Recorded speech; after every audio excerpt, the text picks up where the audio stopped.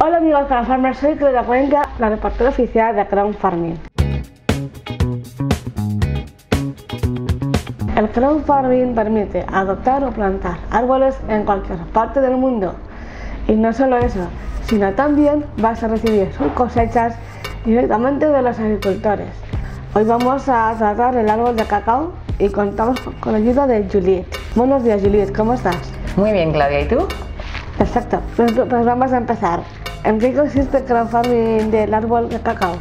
El crowdfarming de árboles de cacao es como cualquier proyecto de crowdfarming, es decir, que adoptas algo. Aquí adoptas árboles de cacao en Filipinas de la variedad Heirloom criollo, que es una variedad muy especial introducida en el siglo XVII en Filipinas por los españoles.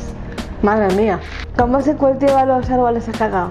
Pues se cultivan sin herbicidas y sin pesticidas y de hecho Auro y el productor, que se llama Rolando Bueno, han pedido el sello ecológico a la Unión Europea. Es muy importante eso.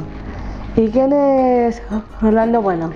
Pues Rolando Bueno, como te decía, es el productor y es él quien cuida los árboles de cacao ahí en Filipinas. Tiene una historia interesante porque antes trabajaba en, la, en los cuerpos de marines de Filipinas y entonces al jubilarse ha decidido empezar a cultivar árboles de cacao. ¿Y sabes qué dice? Pues dice que la disciplina le ayuda muchísimo. Todo lo que ha aprendido en las, los cuerpos de, la, de los marines le ayuda a ser un buen agricultor. Me encanta, la disciplina es muy importante. Yo, por ejemplo, soy muy, soy muy disciplinada con mis cosas. ¿Y por qué se llama Search Farm en su finca? Eso es una buena pregunta. ¿Por qué se llama eso en inglés la finca de Surge? Pues fíjate que, como te decía, estuvo en los cuerpos de los Marines antes y era sargento. Entonces, el apodo en inglés de sargento es Surge. Por eso se llama la finca de Surge y no de Rodando. Pero es la misma persona.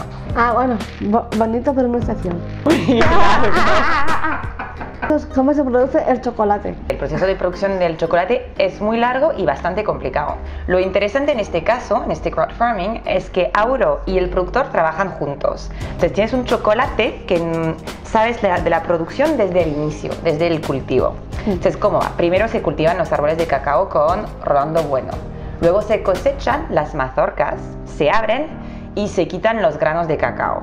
Estos granos de cacao se pueden fermentar entre 4 y 6 días. Aquí es muy importante este proceso porque es donde se saca todo el sabor. Luego se van a poner a secar al sol 12 días. Se asan, se machacan, se hace una pasta de cacao así y luego se mezcla esta pasta con todo lo que viene con el chocolate, es decir, azúcar, leche, todo lo que tú quieras poner. Se calienta y este proceso permite un poco dar una textura un poco mejor y quita un poco de acidez.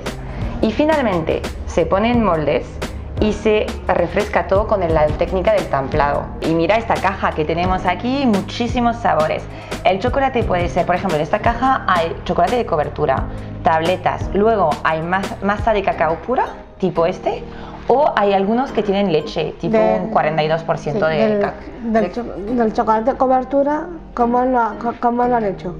Lo han hecho de la misma forma, lo único es que es más fuerte en términos de... es más masa de cacao. ¿Cuándo recibiré mi chocolate? El próximo envío desde Filipinas se hace a, a principios de noviembre. Bueno, probamos este entonces. Venga, de Lauro. 64 chocolate negro. A ver, uy, qué bonito. A ver, te dejo... Es como si fuera un regalo, ¿eh? A ver, ¿qué tal?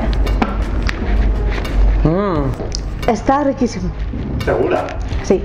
Mm. Y notas que tiene un sabor así de avellana. Mm. Eso es típico del heirloom criollo. Yo después de comer me tomo mi chocolate. Con un buen café. Bueno, pues esto es todo por hoy, Crowdfarmers. Espero que os haya gustado la entrevista del, del chocolate con Juliet. Y espero que probéis vosotros también el chocolate. Yo tengo un- una youtuber, mi favorita, y siempre dice que os ha gustado, no dudéis en, en, en suscribiros y, y dar a la campanita. Y vamos a sortear en, en los próximos días una caja del, del chocolate Auro. Nos podéis seguir en Facebook o en Instagram. Muy bien, Claudia. Bueno. Adiós chicos.